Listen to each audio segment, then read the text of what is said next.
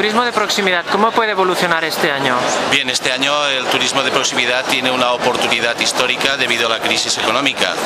En este contexto internacional, el turismo de proximidad tiene un buen momento porque eh, la contención del gasto y sobre todo las distancias eh, cortas van a ganar a las distancias de medio y larga distancia, sobre todo para realizar aquel, aquel tipo de viajes que en un momento determinado se han pospuesto.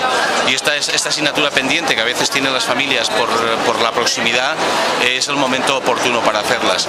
Y por otra parte los viajes se van a acortar en cuanto al tiempo y eso significa que los viajes de 3-4 días van a ganar también protagonismo, por lo cual la proximidad va a tener una oportunidad también en estos momentos.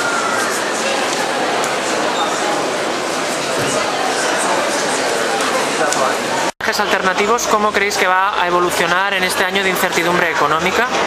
Bueno, nosotros tenemos la esperanza de que se mantenga una línea evolutiva positiva, ya que el sector, el sector de, de población que nosotros tocamos es una persona que vive, tiene pasión por el viaje, eh, es casi una necesidad vital y entendemos que hará esfuerzos eh, de todo tipo para poder seguir viajando. Es evidente que habrá excepciones, que habrá eh, adecuarán quizás sus presupuestos, pero seguirán viajando y así lo esperamos, seguirán viajando a todo a cualquier punto del planeta porque insisto, no, como alternativa viajes por la península, sino que quieren seguir viajando alrededor del mundo.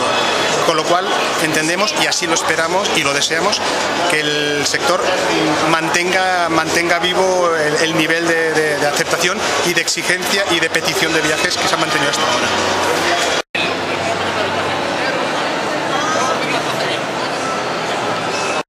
Porque este año es un buen año para viajar a Islandia. Bueno, este año debido a la fluctuación de la moneda, Islandia es un destino muy recomendable, ya que han bajado los precios aproximadamente un 15% con respecto al año pasado. Eh, ahora mismo el viajar a Islandia eh, una semana aproximadamente sale por unos 1.300 euros, cuando el año pasado pues aproximadamente está en 1.700, lo que es el vuelo, el coche y eh, alojamiento con desayuno.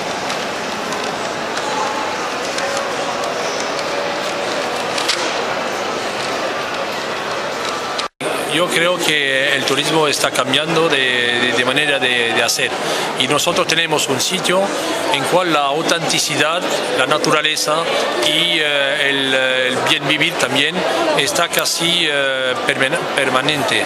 Y eh, creo que hoy en este momento difícil la gente va a buscar con su familia lugares para hacer la descubierta de este territorio y territorios y pensemos que efectivamente la gente va a buscar este conocimiento en la, esa autenticidad que se ha perdido durante muchos años. Entonces pensamos que vamos a tener nosotros en ese pueblo con historia y con industria una, una buena frecuentación de nuestro sitio.